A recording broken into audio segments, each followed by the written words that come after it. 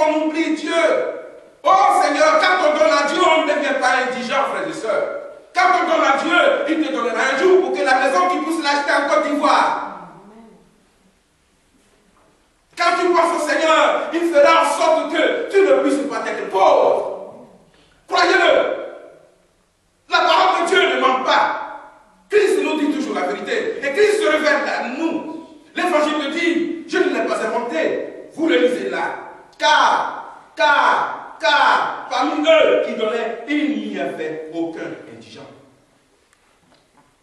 Il n'y avait pas. Il n'y avait pas de pauvre. Il n'y avait pas de pauvre. Parce que les gens donnaient. Parce que les gens donnaient pour que l'Esprit du Seigneur soit content d'eux.